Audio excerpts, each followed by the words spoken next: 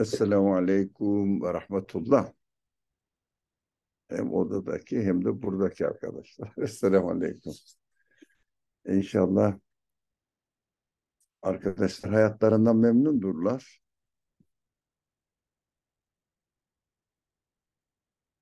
Evet.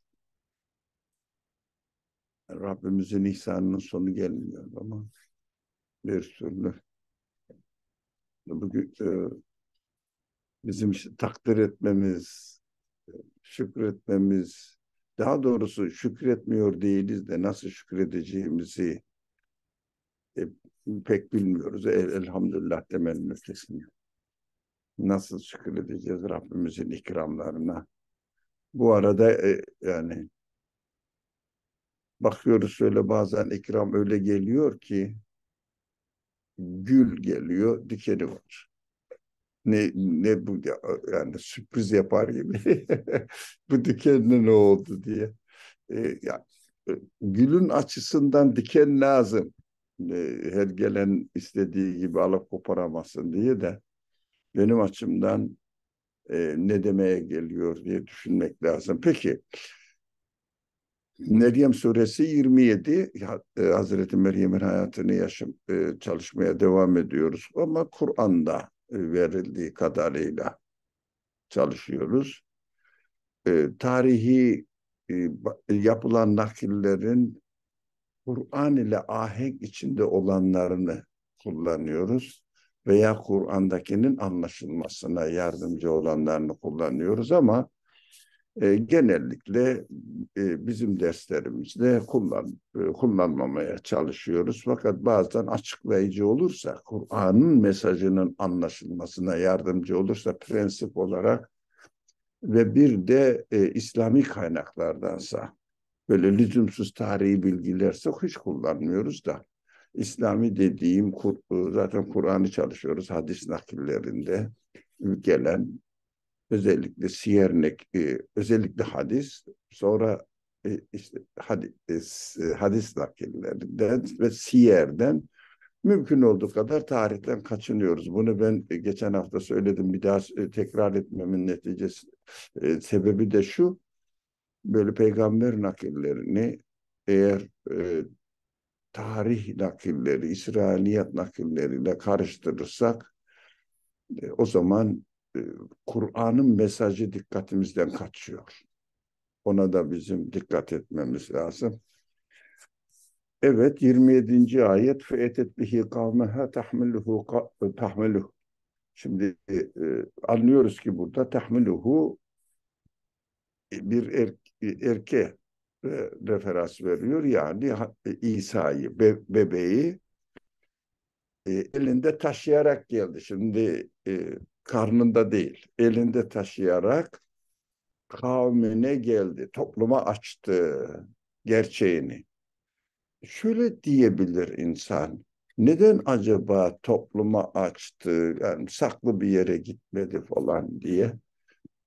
Bu kaçınılmaz olarak insan fıtratının toplum halinde yaşaması gerektiğine de ima ediyor. Bir de biz vakamızı ama ikram-ı ilahi olsun, mucize olsun, herkesin alıştığı şekildeki Rabbimizin ihsanı olsun, toplumumuzdan, toplumdan saklayarak yaşama hakkımız yok. Yani topluma işte Rabbim bana bunu verdi diyeceğim. Çünkü insan şöyle düşünüyor, böyle başkalarına göstermeyelim, kıskanırlar, haset ederler. O, o senin, senin benim niyetime bağlı. Ne demek istiyorum senin benim niyetime bağlı? Ben onunla övünecek şekilde, insanları kıskandıracak şekilde mi tak, takdim ediyorum yoksa onlar mı böyle algılıyorlar? Onların e, e, benim e, problemim. Ama ben hala öyle algıladıysam pardon iyi niyetlerle e, topluma e, Rabbimin verdiği gösteriş için değil de saklamak da e, fıtri değil. Ne verdiyse topluma o şekilde kendimi takdim edecek olursam verilen nimetlerle beraber birisi de bundan e, kıskanırsa Anadolu kültüründe nazar değerse denir. Bu önemli bir e, kültürde olduğu için önemli bir kavramdır. Dikkat etmek lazım. Nazar değmek ne demek diye. Böyle senin iraden benim iradem yokken seni kıskanırlar. İnsanın durumu bu. Bu durumda biz Allah'a istiaze etmek durumundayız. Allah'a sığınacağız. Yani Ya Rab beni e, bu insanların kıskaç haline alet etme ya bir şekilde onların e, onların duyguları neyse onunla ben ilgilenemem sen ilgilen deme durumunda olacağız. Nazar naz, benim anlayabildiğim kadarıyla e, tabii bu konu nazarla ilgili değil. Kur'an'ın Hazreti Meryem'i nakletmesi topluma çıkmakla ilgili olduğu için bizim e, dünyamızda topluma çıktığın zaman hadi nazar değerlerse geliveriyor. Benim de geldi mesela. Onun için kaçtım oradan. Dedim ki e, bana nazar değerlerse ben ne yapacağım? Çarem ne olacak diye. E, o, o korkuyu, o endişeyi bilemiyorum. Şimdi nazar e, şöyle oluyor diye düşünüyorum. Ama bu benim şahsi kanaatim yani. Bir şahsi yorumum. Karşıdaki kişi o nimetin Allah'tan geldiğini bilse nazar olmaz. Neden? O dediğimiz kıskançlık kaynağı olmaz. Neden? Rabbül Alemin vermiş. Bu adama ait değil ki, bu kişiye ait değil ki. Ha, o Rabbül Alemin benim de Rabbim. Niye bana vermesin? Demek ki bizde de böyle bir duygu, eğilim, böyle kıskanma duygusu gelişirse hemen bunu kullanacağız. Bu mekanizmayı kullanacağız. Yani ben Rabbül Alemin veriyorsa ben de isterim. Eğer benim için hayırsa mutlaka verir. Ama benim için hayır değilse, yanlış kullanacaksam vermez. Onun hikmetli yarattı, yaratıcı olduğunu, yaratan olarak kainata bakıyorum. Hikmetsiz bir şey yaratılmış. E o zaman benim için yaratılanlarda da hikmet var demektir. O zaman ben o hikmeti görmem lazım. Ha, bana ona vermiş, bana vermedi. İşte bana vermemesinde de hikmet var. Şimdi kainata baktığımızda hep böyle konuşmaya alışmışız. Ne yaratıldıysa hikmetle yaratılmıştır. Ama şunu da söyleyeceğiz. Ne yaratılmadıysa o da hikmetle yaratılmadı. Çünkü irade var gerisinde. Yaratanın iradesi var değil mi? İradesiyle şunu yapmam hikmetlidir, şunu e, şurasını şöyle yapmamam da e, gerekir. Neden? Hikmet öyle gerektirir. Sana bana vermediyse demek ki hikmeti var. Bu hikmet peki yani bir hikmeti var. O yaratıcıyı ilgilendirir e, demek benim hayatımda bir çözüm getirmiyor. Ya o hikmette rahmet olması lazım. Neye? Bir maksada göre yaratıldıysa demek ki o maksadın bir faydası var. Yani merhametli bir hikmetli yaratılış söz konusu oluyor demektir. Pratik olduğu için konunun üzerinde duruyorum. Eğer bir başka kişi yaratıcının hikmetini görmez de kendisine mal ederse, yani aa bu adam mesela inansızsa şanslı derse, şanslıymış derse, o onun problemi. Bakın orada şanslı demekle inkar izleri var. O inkarın sıkıntısını çekmek zorunda. Bunu anlıyorum. Niye? O onun problemi. Bana sorarsa keşke öyle yapmasaydın. O sıkıntıyı çekmeseydin. Neden? Böyle e, şans gelecek de ben talih gelecek de ben iyi pozisyonda olacağım. Tesadüfe kalmış benim hayatım. Tesadüfe kalan bir hayatta insan nasıl zevk alır? Tesadüfen gelirse olacak, gelmezse olmayacak. Bilmiyorum ki. Belirsizlikler içerisinde yaşamak kadar insana işkence veren. Amca sesin kapandı ama. Şaka yapayım mı Yasin? Sen kapatmış olmayasın. ha, sıkıntı çekiyor musunuz bağlantıda? Şu an sıkıntı yok gayet iyi. Elhamdülillah. Öyle bir şey olursa hafiften ima et inşallah. Yani hafiften dediğim şöyle bir ya mesaj gönderiver ya e, bağlantı kesildi deyiver. Nerede kaldık? Eğer o kişi e, belirsizlikler aleminde yaşamayı tercih etmişse onun kıskançlığı sana zarar vermez, kendisine zarar verir.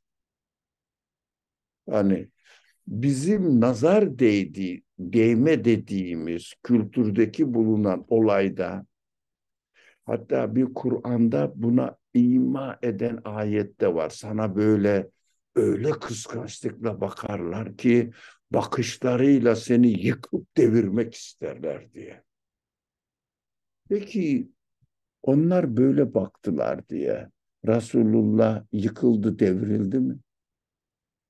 Devrildi. Bunu anlamamız lazım. Ya onlar deviremediklerini gör, e, anladıkça, gördükçe kendilerine daha çok zarar verirler. Ama ben ne yapacağım? Onların, insanların böyle kendilerine zarar verme ihtimalinden dolayı bu gayet mütevazi bir şekilde Rabbimin bana verdiği ikramları onlarla da paylaşmayı tercih edeceğim ki görsün. Bana verilenin ona da faydası var. Anlasın, kendine zarar vermesin diye insanlara acımak lazım. Benim görevim bu. Yoksa bir kişinin e, kıskançlığını e, kıskançlığından dolayı kendisine verdiği zarardan bana da sonunda işte bak zarar geldi de çocuk hastalandı demek e, benim kanaatime göre e, doğru bir e, kavram değil. Birisi haset etti de onun için hasta, hasta oldu falan demek o kadın zaten öyle derler. Anadolu kültüründe hep kadınlara e, izafe edilir bu. O kadın zaten nereye gitse böyle olur diye peşin hükümlü davranmak e, biraz sanki irade-i ilahiyenin e, beni zorunlu olarak zarara, gereksiz yere zarara soktuğunu gösterir. Orada ne yapacağım peki ya? Kendime dikkat edeceğim. Allah'ın verdiği bir nimeti üzerimde gösterirken işte çocuğum var mesela okulda başarılı değil mi? Konuşurken e, işte benim e, benim çocuk benim oğlan benim kız öyle denir Anadolu kültüründe şu okulda okuyor. E, okulda biraz meşhur bir okulsa bak orada şu okulda okuyor dediğin için gurura girdin. O gurur sana Allah'ın ikramını inkar eden, inkarı ima eden, şükre vesile olması gerekirken gurura vesile yaptığın o ikramı ilahiyi alır. Sen de zannedersin ki bu kıskanç kişinin o nazar değen kişinin bakışından dolayı benim çocuk dün şu dersten veya bu dersten başarısız olmuş. Haset etti derim. Ben kendime bakacağım. Genellikle nazar değmenin da, değme diye damgaladığımız olayın arkasında benim gizli gurur davranışlarım olur. Ona çok dikkat edeceğim.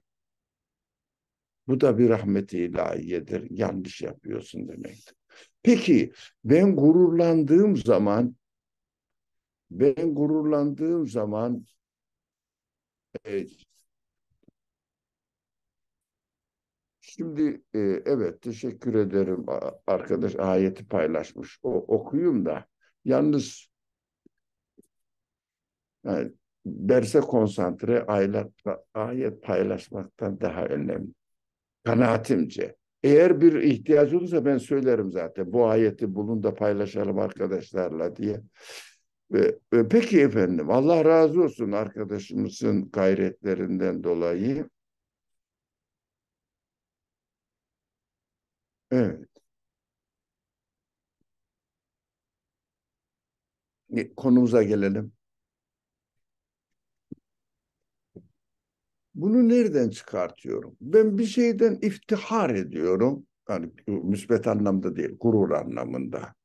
Onu da böyle çaktırmadan insanların nazarından kaçırarak e, kendime tatmin kaynağı olarak kullanıyorum.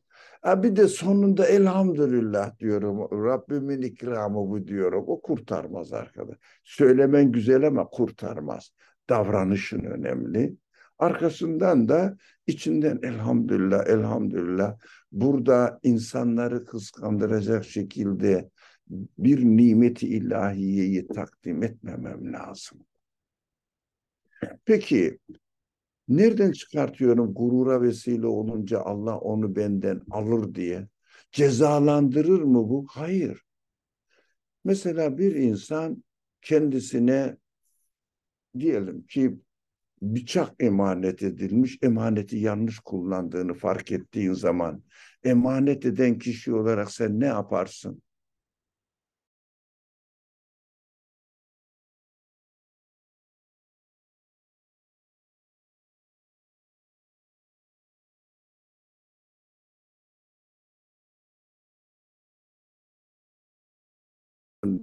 Yanlış yerde gelişmesine vesile Ali amca sesin gitti. En son bıçak emanet etmekten bahsediyordunuz ama oradan tekrar alabilir miyiz? Teşekkür ederim. Güzel oldu hatırlatman. Ee, bıçak eğer yanlış kullan kullanıyorsa emanet olarak verdiğim kişiden geri alırım. İnsan fıtratında bu varsa bu ne demektir?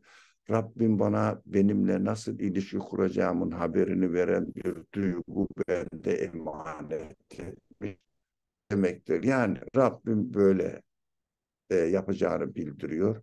O zaman işte bana nazar değdi derim. Ona kendime bakacağım ben. Kendime bakacağım. Ha, o zaman nazar değdi.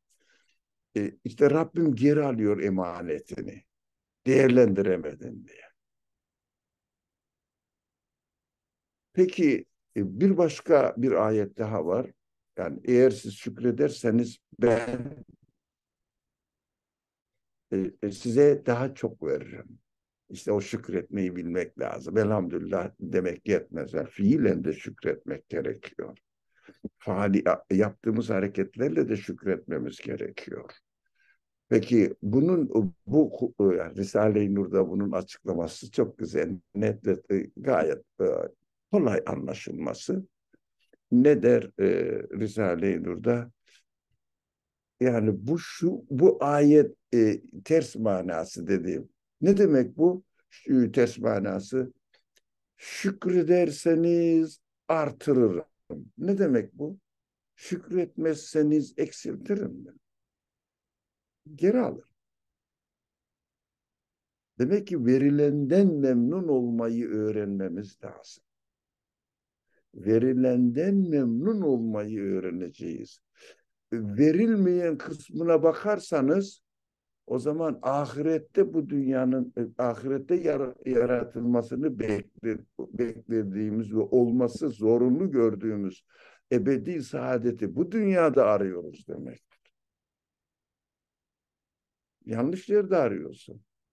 Bu dünyada verilene şükredersen ebedi e, tatmin olma duygunu da ahirette yeni yaratılış gerektirir. Çünkü ebedi tatmin olmaya bu geçici şartlarda yaratılan bir eğitim yeri olarak, geçici olarak yaratılmış e, bu alemde ararsak zaten bir yerde yanlışlar yapıyoruz demektir. Yani e, biz e, ebedi saadeti ebedi olmayan bir yaratılış içinde bekliyoruz. Oradan tatmin oluyoruz demektir. Demek ki verilere bakacağız.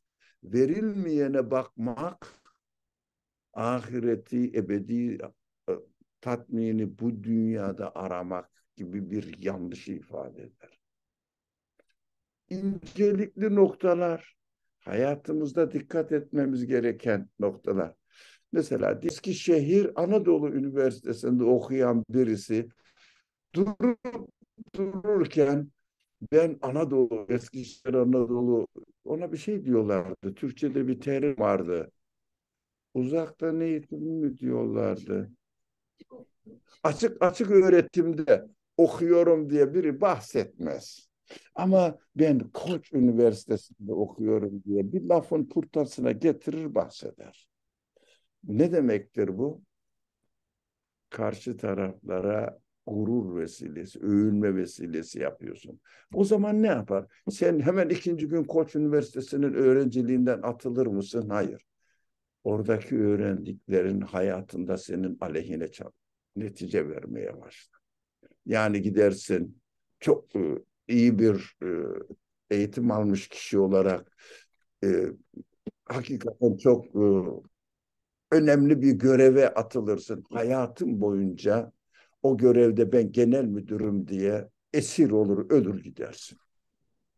O görevin esiri olur, ölür gidersin. Bak ne oldu? Ziyadeleşmedi rahmet. Hayatına bereket getirmedi. Çok para getirdi ama hayatını zehir etti. Esir oldun.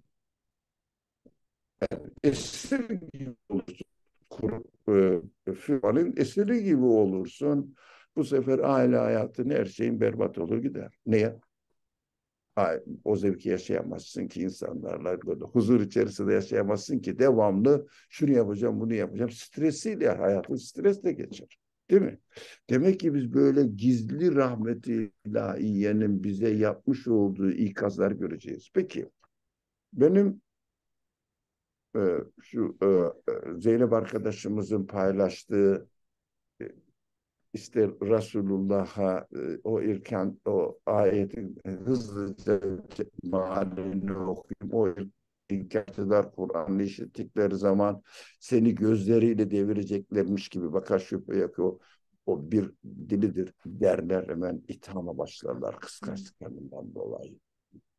E diye ayeti kerimeyi de nakletti Allah razı olsun. Evet geliyoruz Hazreti Meryem'in elinde çocukla beraber, bebekle beraber geldi. Yani bu Rabbimizin bir tercihiydi. Kainatın yaratıcısının bir tercihiydi. İçinde yaşadığı toplumdan kaçmak yerine e, yaratılanın hakikatiyle topluma kendini takdim etti. Bizim nazar konusunda geçmemizin nedeni de budur. Yani biz şimdi saklayacak mıyız Allah'ın nimetlerini? Sanki hiçbir şey vermemiş Allah bana gibi mi davranacağım? Tevazunun yanlış anlaşılmaması lazım konusundan peki topluma gittiğim zaman da ya nazar değerlerse gibi çok pratik bir konuya girmiş olduk ve çıkmış olduk şimdi. Peki ne dediler hemen insanlar? Ee, ya galu ya mercem lekad ci'te şikten feriyya. Aa böyle değil. Öyle bir şekilde e, geldin ki e, olacak bir iş değil. Yani senin yapacağın bir iş değil bu. Onun da gerekçesini takip eden ayette de diyecek zaten. Hadi okuyalım da birlikte çalışalım o ayeti. Ya uhte Harune ma kâne e, ma kâne ebuki ebu kimra sev'in ve baban senin baban kötü bir insan değildi. Ve e, ve ma kânet ümmike bagiya. Annen de böyle e, sınırı aşmış bagi. Yani ahlaksız. bir kadın değildi. Sen böyle bir davranışın sana yakışmaz. Nasıl yaparsın sen? Dediler. Peki mucizeye inanmadıkları için mi dediler? Ortada mucize falan söz konusu değil o insanları ilgilendirdiği kadarıyla. Bunlara dikkat edip böyle size e, herhangi bir şekilde yapılmış olan bir ikramı insanlar yanlış değerlendirirlerse dikkat edelim. Ya e, Allah rızkıma bereket verdi. Allah'ın verdiği bereketi görmediler de beni hırsızlık yaptı diye itham ettiler. Deyince e, tabii insanlar Allah'a inanmadıkları için de değil. Şimdi siz de kendinizi bu böyle bir toplumun üyesi olarak düşünün. E, bir genç bir kız, ben çok e, bir ara bahsettim bu derslerde diye hatırlıyorum. Çok genç yaşta bir kız gerçekten temple'da yani ibadethanede yaşayan kendini e, Allah'a ibudiyete vermiş olan bir meslek bek, e, e, gerisinden böyle bir e, geride yani background. E, e, ne ne diyorlarsa. Yani öyle bir e, eğitimden gelen bir kişiden annesi babası gerçekten insanlar tarafından hürmete layık, takdire layık kişi olarak görülen bir ailede yetişmiş bir kişinin böyle bir davranışta bulunmasını kabul etmemeleri kadar insani bir davranış olamaz. Ha, ona göre e, Rabbimiz de tedbirini alacak. Öyle e, Meryem'i de böyle mahcup bir durumda bırakmaması lazım değil mi? Çünkü kendi iradesiyle yaptığı bir kötülüğün sonucu değildi ki bu. Dolayısıyla Rabbim bir seni, beni mahcup olacağım, muhtaç olacağım bir duruma koyduysa onun mutlaka bir karşılığını da verecektir. Ama bu dünyada ama ahirette. Adalet mutlaka gerçekleşecektir tedbirini ya bu dünyada alacak ya zalimler zulmedecekler. Rab yaratıcımız da adalet edecek. Ve adaletini gerçekleştirecek. Bilemiyoruz. Yani geleceği bilmediğimiz için gelecekte ben şöyle olsaydım daha iyi olur garantisini de veremediğimiz için şu anda yaratılanın mutlaka benim lehime olduğunu, hatta ben şu yaratılandan memnun olmasam bile o memnuniyetsizliğimi Rabbe değil de muhtaçlığıma, ihtiyaç sahibi olduğuma vermek suretiyle bak ben buna muhtacım. Bu ihtiyacımın anlaşılmasını benim tarafımdan anlaşılmasını istiyor yaratıcı. Demek suretiyle tepki vermek yerine razı olma. Neden? Ya, yaratanın bir defa şunu temelde kabul edeceğiz. Yaratan kesinlikle yarattığı öyle değil mi? Bizi biz kendimizi dilekçe verdik de ben yaratılmak istiyorum dedik de onun için yaratıldık değil ki bedavadan yaratıldı. Bu dünyadayız işte. Hayat verildi, insaniyet verildi. Artık sonsuz nimetlerimiz var. Gözümüz, kulağımız, duygularımız, aklımız. İnanılmaz e, nimetlerle donatılarak yaratılıyoruz. E, bu kadar ikramda bulunuyor. Bedava. Hala da bedava. Her şey bedava. Biz pazardan aldığımıza bakmayın. E, git bir deneme yap, çiftçilik yap, bedava gör, ver, bedava verildiğini görürsün, yaşarsın. Ne yapıyorsun ki bir e, koyun veya inek alıyorsun? E, evcil hayvanlardan örnek ver, vermem gerekiyor. Pratik hayatımız öyle. Kimse evinde kurt beslemez. Yani ondan bir işe yarasın diye besle. İnek alıyorsun Yani aslında şehirlere tık, tıkıldığımız için belli ekonomik, sosyal, politik gelişmelerden dolayı e, bu imkanlara sahip değiliz ama fıtri insan hayatı geçiyorsun bir inek alıyorsun e, çayırlar bedava yaratılıyor. Yeşillikler hayvanın yiyecekler bırakıyorsun oraya hayvan getiriyor yiyor sütünü sen alıyorsun. Bundan inanılmaz nimet, rahmet. Bir şey yaptığın yok. Hayvana bir şey falan yaptığın yok. Bir, bir katkın falan da yok. Yani bu kadar. Atıyorsun toprağa bir tohum, sana veriyor bin tane geri. Ama attığın toprak, toprak tohum da senin değil. Sen yapmadın. Daha önceki verilenlerden kalanlar. Böyle bir e, yaratılış türü var. Yağmur geliyor, biz burada pisletiyoruz, yerde pisleniyor. Tekrar çıkartıyor, temizleyip tekrar gönderiyor. Yani burada rahmetin her zaman bizim bizim lehimize çalıştığını inkar etmek. Ama bir de zelzele oluyor. Ama benim insanım, benim duygularım var. İrade-i cüz'iyem var. İstediğim şekilde seçimler yapabiliyorum. E, bu seçimleri yaparken hangi esaslara göre seçim yapacağıma karar vermem gerekir. Bunun için de eğitimden geçmem gerekir.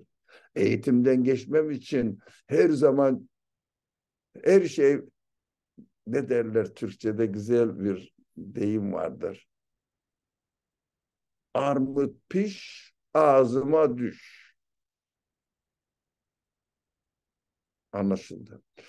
E, peki öyle olacak. E canım zahmet et de ermiş, olgunlaşmış ağaçtaki armudu zaten olgunlaşınca hikmetlerin sonu gelmiyor. Olgunlaşınca ne yapıyor? Armudun dalına bağlı olan bizde neyse sapı derler galiba. Kurumaya başlıyor, zayıflıyor. Yani bir rüzgar göse düşecek hale geliyor. Hazır gel beni ye diyor. Zahmet et de şunu da oradan alıver. İhtiyacın var. İhtiyacımın nasıl karşılandığını göreyim de şımarmayayım. Alıvereyim.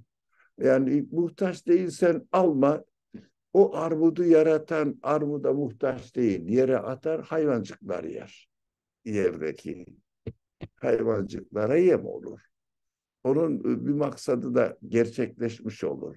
Ama sen alırsan Rabbim sana ikram edecek, etmek için hazırladığını da bildiriyor. Alma demiyor. Al diyor. Almazsan başka e, mahlukatın var. Onlara rızık olur diyor. Yine rızık olur. Anlamsızlık yok. Hiçbir şey anlamsız değil. Yani bizim affedersiniz pislik dediğimiz şeyler bir sonra döne, dönemde yaratılacak olan nimetlerin besin kaynağıdır. Ama en güzel, lezzetli nimetlerin besin kaynağı. Bize Rabbimiz diyor, sen pisliği koydun, ben sana tertemiz armut verdim. Neyi gösteriyor? Açık bir şekilde ne kadar hikmetli. Ta ki ben ya gübre buna bu lezzeti verdi demek için hiçbir bahanem kalmasın. Ya gübre pis diye attın zaten. Attın. Ondan bunu verdi sana. Onun bir e, özelliği, kendinin iradesi, bilgisi yok ki sana tutsun lezzetli bir armutu gayet tatlı, nefis kokulu, paketlenmiş, renklendirilmiş, zevklendirilmiş bir şekilde sana e, ikram etmesi pislikle ne alakası var? Böyle bir çelişkili ortam içerisinde gerçekleştiriyor ki yaratılma, yaratılışı tersliklerle dolu yaratılışı ta ki insana rahmetle muamele eden yaratıcısı kesinlikle bunları o pisliğe, toprağa, şuursuz, bilinçsiz suya gönderme. Bak şimdi lezzetli oldu. Sunu, e, suyun tarif gereği değil mi kendisine ait lezzeti, kokusu, rengi olmayan bir mahluk. Ama girdiği her yerde kokusu, rengi başka ne dedi? Canlılığı.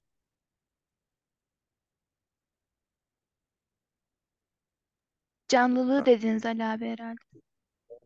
Canlılığı mı dedim? Yani e, olan e, bir ürünün malzemesi oluyor. Demek ki Rabbim bana diyor ki pislikle su ile armutun yaratılmasının hiçbir alakası yok.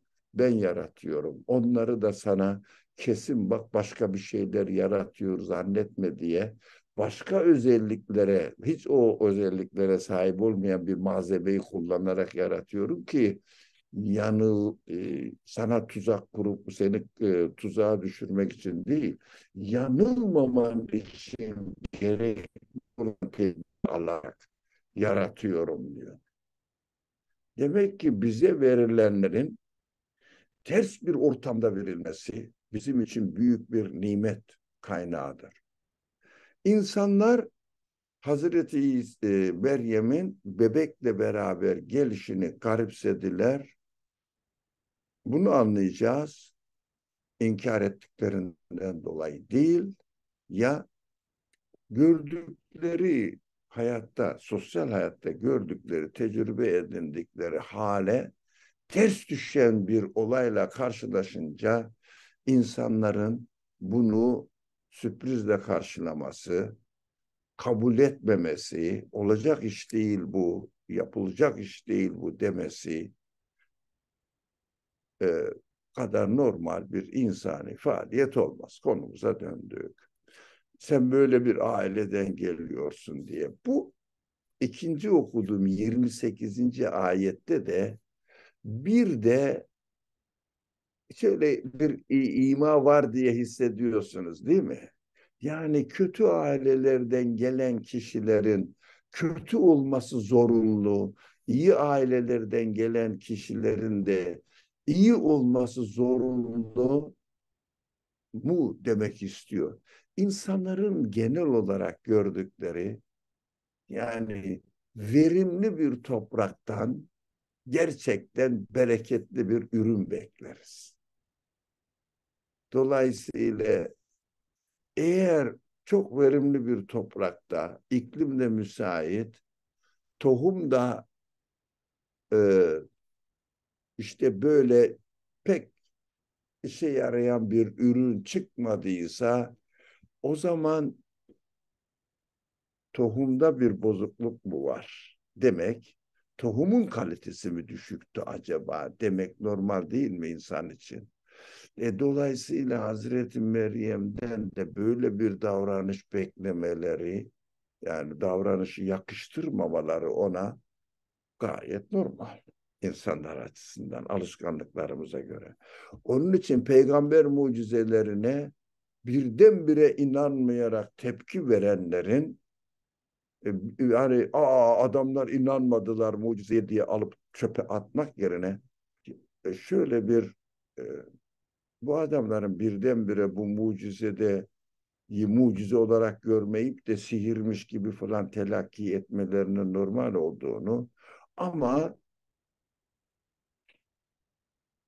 ortama bakıp bunun sihir olması mümkün mü? Bir, iki, üç öyle bir şekilde gerçekleşiyor ki böyle bir kişinin elinde gerçekleşiyor ki bu kişi benim bu söylediklerim bana ait değil, kainatın yaratıcısına ait diyor. Kendisine bir pay çıkartmıyor. Sihirbaz ne yapar? Veya işte şimdi insanların avuçlarını okuyanlar falan ne yaparlar? Bir, ödeme bek, bir takdir beklerler kendisine ait o toplumda bir üstün e, bir mahareti olan insan olmayı beklerler. Ama Kur'an'da biz devamlı okuyoruz, görüyoruz ki Kur'an ısrarla peygamber sizden hiçbir şey beklemiyor da. Bu yani bu da bu bize sihir yaparak bir şey yapıyor demenin ne alemi var? Yani karşılığında bir şey beklese ha böyle bir pay almak istiyor da onun için dersin. Öyle bir şey yapmıyor ama size bir mesajla geliyor. Bak bu mesajı diyor kainatın yani beni görevlendiren yaratıcı Halık'ın Allah'ın gönderdiğine dair bir delildir bu diyor. Bu mucize. Der. Benimle hiç alakası yok diyor. Bak sihirbaz ne der? Ben çok maharetliyim de. Ben alimim de. Ben tecrübe gördüm de. Dolayısıyla itibar kazanmak ister toplumda. Belki de, belkisi değil şimdi biliyorsunuz e, bilmiyorum sizin bulduğun, bulunduğunuz kültürde burada benim bulunduğum kültürde bu işte el, el, elini okuyanların palmilidir derler. Avuç içini okuyarak sen şöyle olacaksın böyle olacaksın falan diye. Onlar para alırlar. Değil mi? Ama Resuller e, e, Resul para almaz. Hatta sadaka da almaz. Muhtaç oldum ben diye. Hayır sadaka da almaz. Yalnız insani bir davranış olan karşılıklı hediyeleşmeler. Bu insanidir. Muhabbet, sevgi gösterisinin karşılıklı olarak birbirlerine ifade edilme tarzıdır. Hediye ihtiyaçtan dolayı verilmez. Yani en zengin adama bile bir hediyeyle gidersin. Yani Türkçe'de bir söylem vardır biliyorsunuz.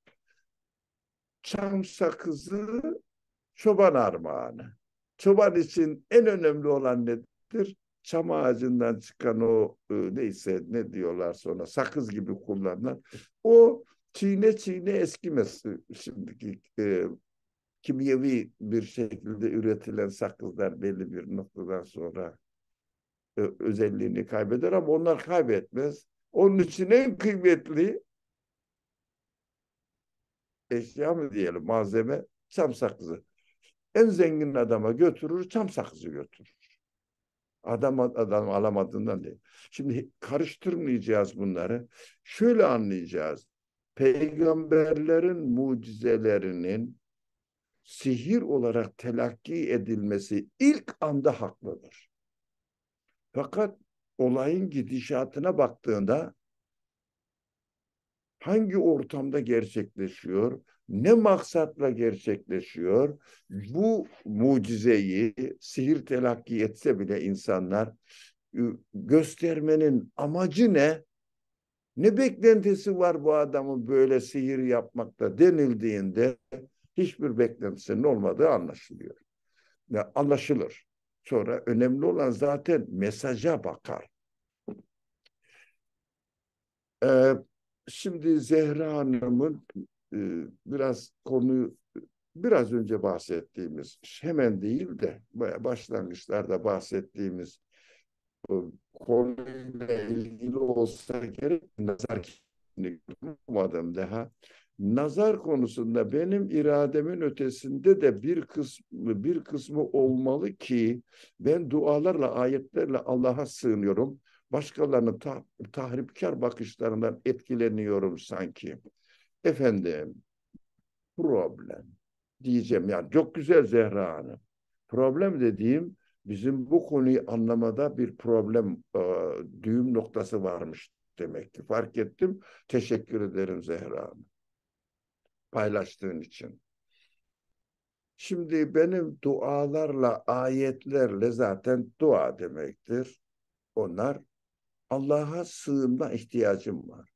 Ama dikkat edersek biz Allah'a sığınmayı dışarıdaki insanların şerrinden zannederiz.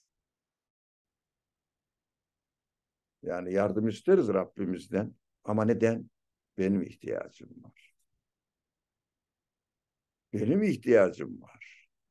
Yani Allah'a sığınmaya benim ihtiyacım var ben bu arkadaşımızın yani isimler önemli değil diye ismi yani Zehra ismiyle yazdığı için demek ki bir mahsur görmüyor.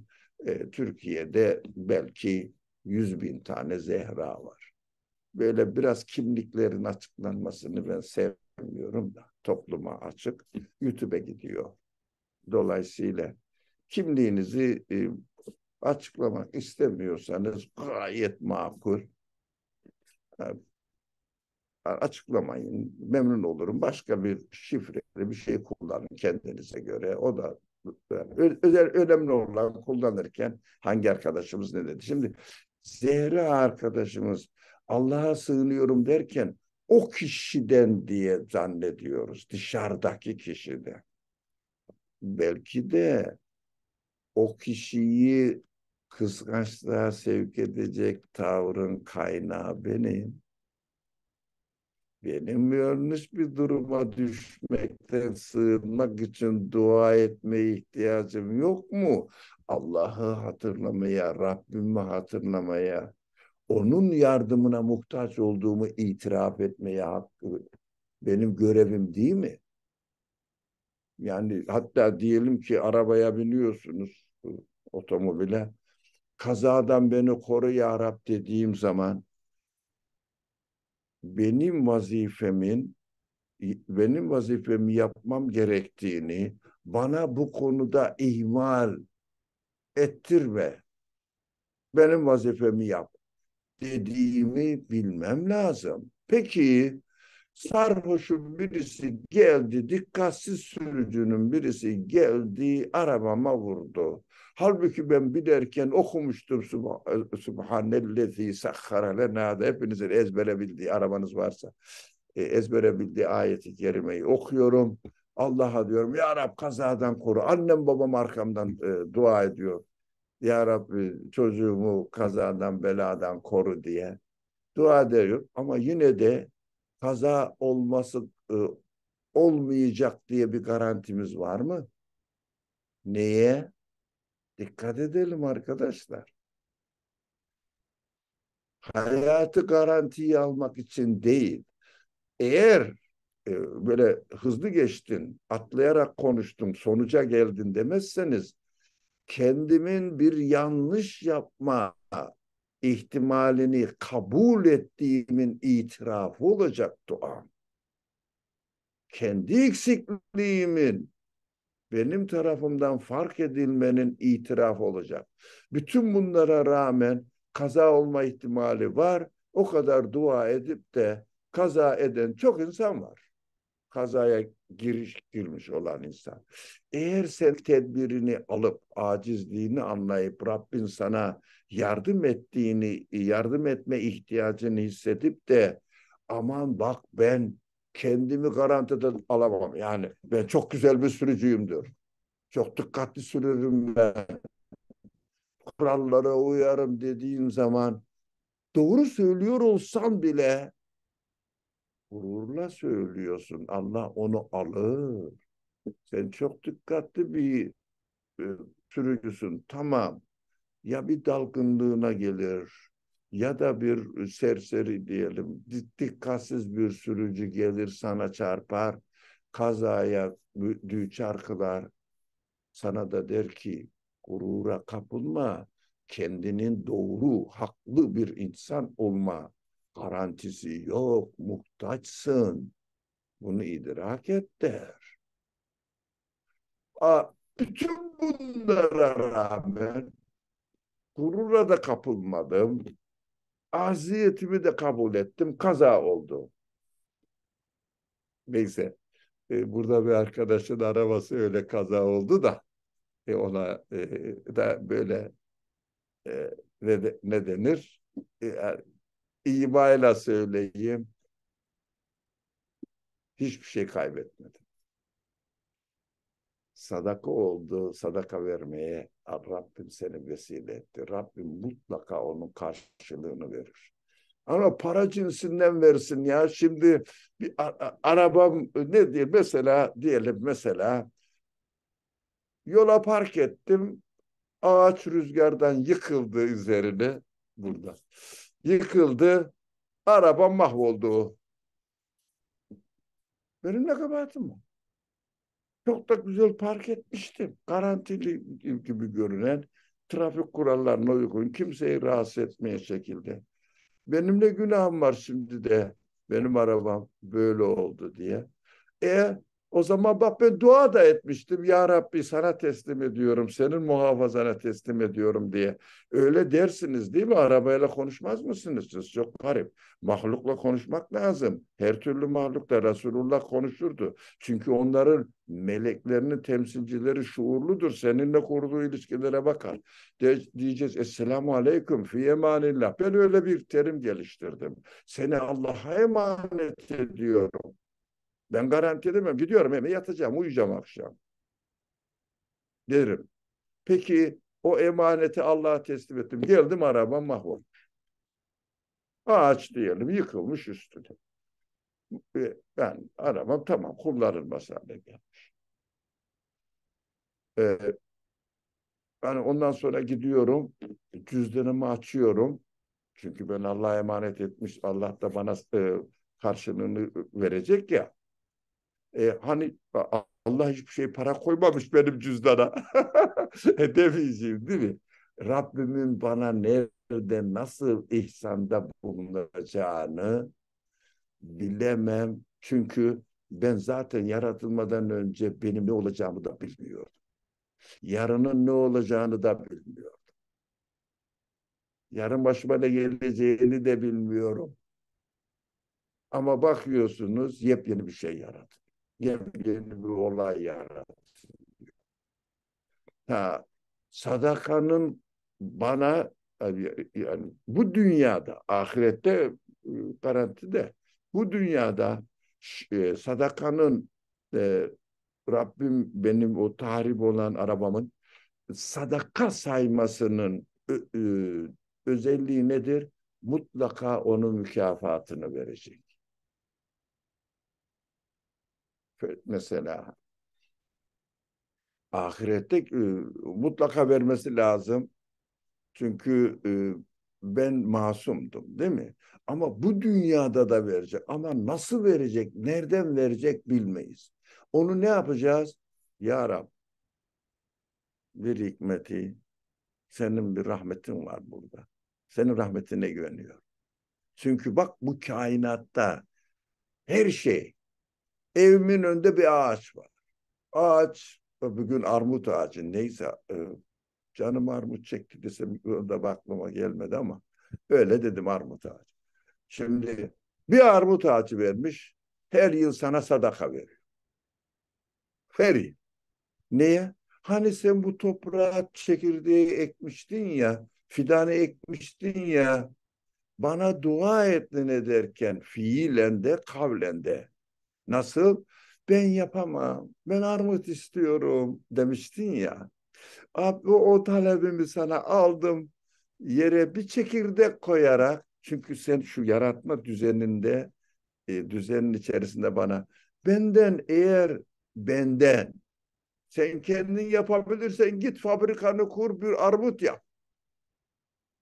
Ama benden istersen ben sana benimle nasıl ilişki kuracağımı öğretirim. Nasıl? Ha bakıyorsun insanlar bir çekirdeği yere koyuyor, armut ağacı çıkıyor. Değil mi?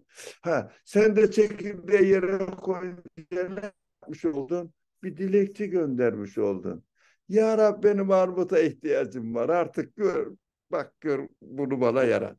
Armut yaratılıyor. E, bere, e, peki sadakanın bereketi nerede? Aa bakıyorsunuz, bakıyorsunuz. Her yıl tekrar tekrar yüzlerce armut veriyor. Yüzlerce tekrar. Kaç yaşında, kaç yıl yaşatıyorsa Allah'ın e, e, kurduğu düzene göre 20 yıl, 30 yıl, 40 yıl her neyse e, 40 yıl sana devamlı armut veriyor. Niye? Sen vaktiyle bir çekirdek ekmiştin ya.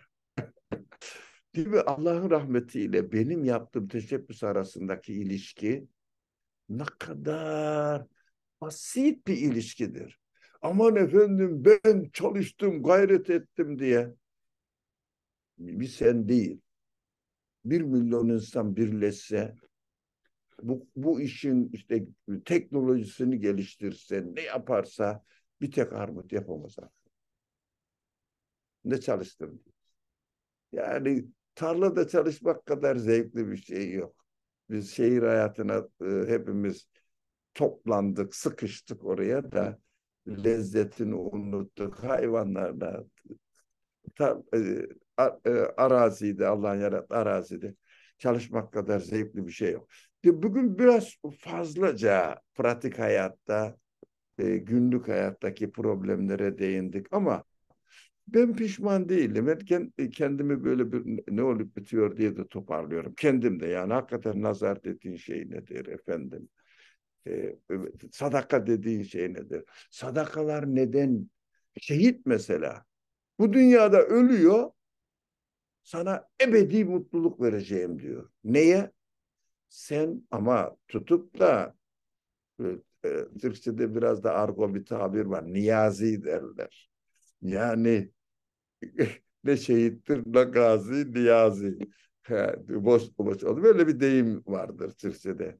Boş yere öldü gitti. Boş yere yaşadı gitti diye.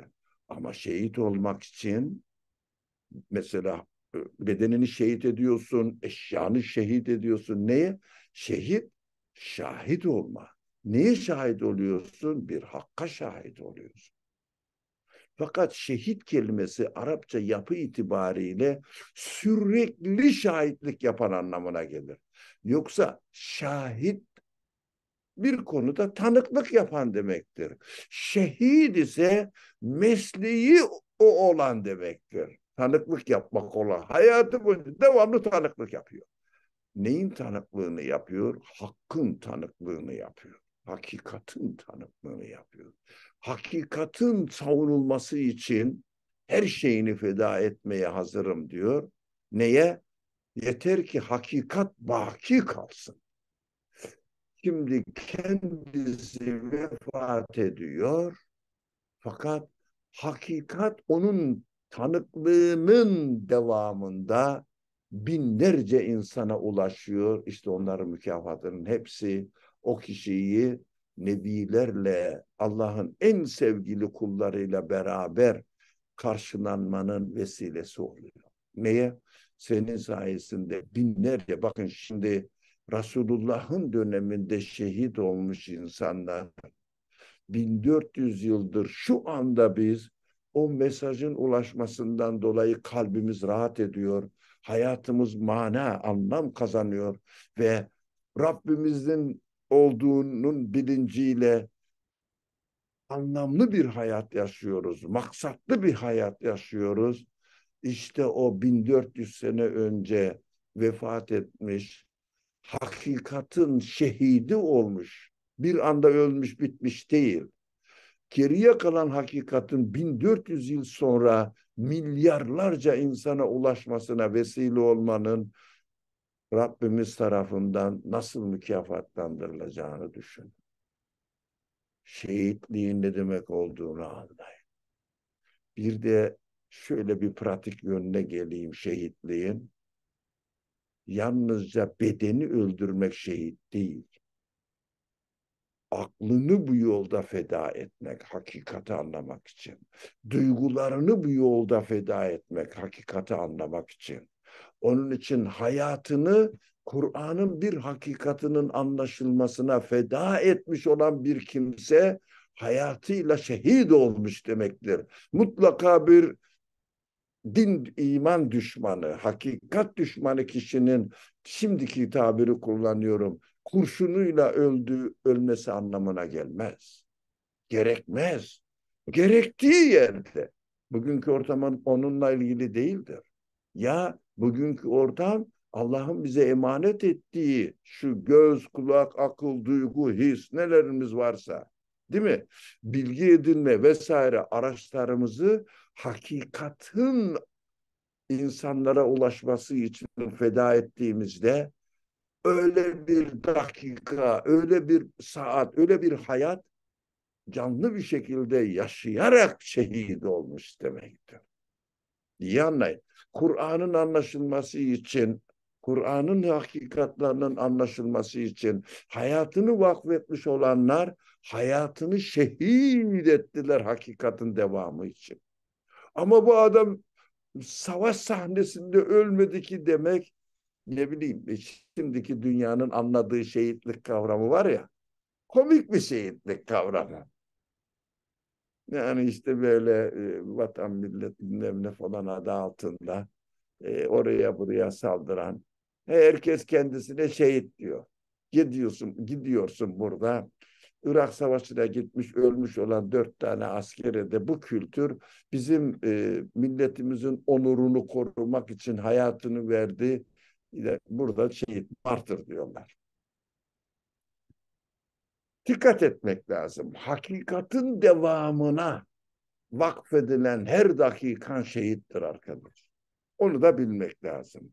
Yoksa bu devirde o imkan geçti. Hani o savaş sal, sal, e, sahnesi yok ki deyip de kendine düşman arayıp onu o da öldürürse şehit olayım bari. Peygamberin yanına gideceğim dersen cehenneme gitme ihtimalin çok fazla. Allah yarattığının ötesinde sahte rol oynadı. Dikkat etmek lazım. Peki yazılanlar var. Şüphe yok. Evet onu anladım. Anladım. Zeynep tekrar yazdı. Peygamberler sadaka kabul etmez ama insani olarak diye kabul eder dediniz. Sadaka insani değil mi? İnsani ama peygamber kabul etmez. Fakir olan bir kimse kabul e, eder ama insan kabul etmez. Rasuller kabul etmez. Peygamberler kabul etmez. Sadaka ne demek? Aa, sadaka sadaka kökünden gelir. Hani bir Kur'an okuruz da arkasından sadakallahul azim deriz ya. Bir hakikati tasdik etmek, fiiliyle tasdik etmek demektir. Bu mal benim değildir. Bana emanet edildi. Benim ihtiyacımdan fazla verildi. Bu ne demektir? Git bunu başka muhtaç olanlara götür ver demektir. Yani bir, birisine gidip para verdiğin zaman elbisesi karşın zaman mesela ihtiyacını karşıladığın zaman benim paramı ona verdim demeyeceksin. Sana verilen ikram ilahiyi ona vereceksin. Sadaka hakikati itiraf etmenin fiili olarak yaşanması demektir tasdik edilmesi demektir.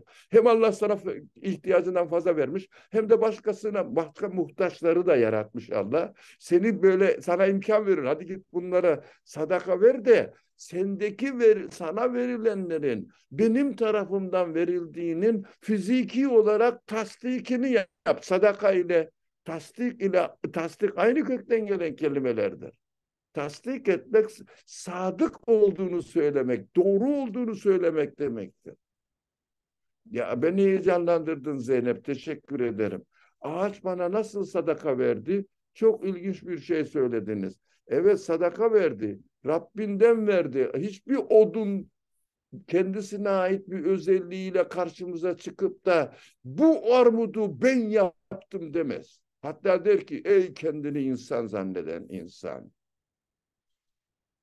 Bak ben bir armudun yaratılmasında, bir kulu, bir insanın faydalanmasında istihdam edildim. Bir odun olarak, sen insan olarak kaç insanın fay senden faydalanmasına hizmet ettin der, bana meydan okur.